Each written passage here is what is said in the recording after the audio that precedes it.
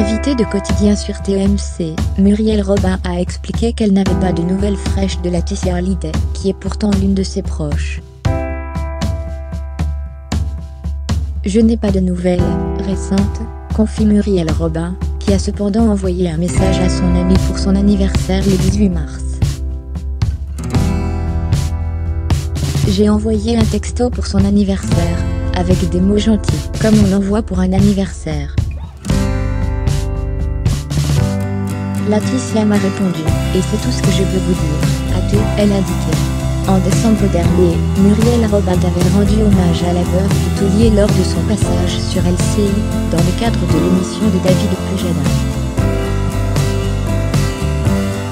Je pense beaucoup à Laetitia, parce qu'on a eu deux Johnny je crois, celui avant Laetitia et après. Je remercie Laetitia parce qu'elle a appris à cet homme à être aimé. Il méritait bien ça. Moi j'ai vu comme elle se battait, car c'est pas facile d'être aimé, quand on ne l'a jamais été, et elle était là, solide comme un roc.